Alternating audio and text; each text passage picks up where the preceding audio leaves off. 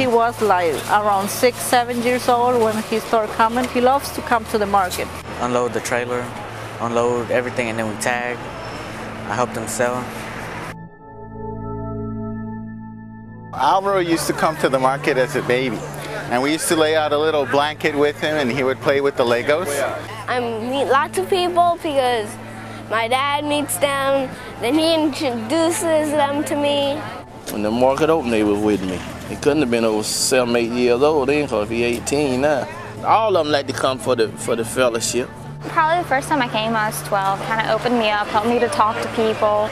I always got to spend time with my grandpa, and we're kind of closer now because of it. It used to be just he and I, and we just unloaded all together, you know, a truck and a trailer full of plants. Now we have Chewy, he helps us out.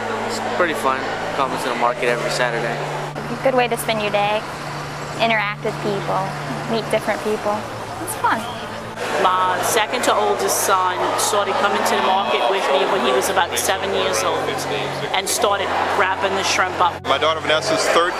She comes here early in the morning with me, 6 o'clock, uh, helps me package things, helps me set up the market. Growing up around people, you know, he's so comfortable here. He just, he knows everybody. And she has a two and a half year old now. And she's never been to the market except once or twice to visit. And you could see the difference. Totally opposite. Totally opposite from Tyler. What do the kids like best about coming to the market? Making money. He likes special to give, to take the money and give the change to the customers. Lately, he's been handling the money box as he's been growing up. And he's uh, really the number one math guy in his class now. Since I've been like little, I've been working for people sometimes. And sometimes they give me a few dollars a day.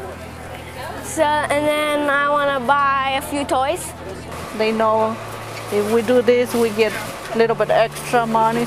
And Mama used to pay him um, $2 a market. Every market he came, so he put that in his It's name. piggy bank. It's taught him really the value of money and the value of education, what it's like to be in business, good times and bad times.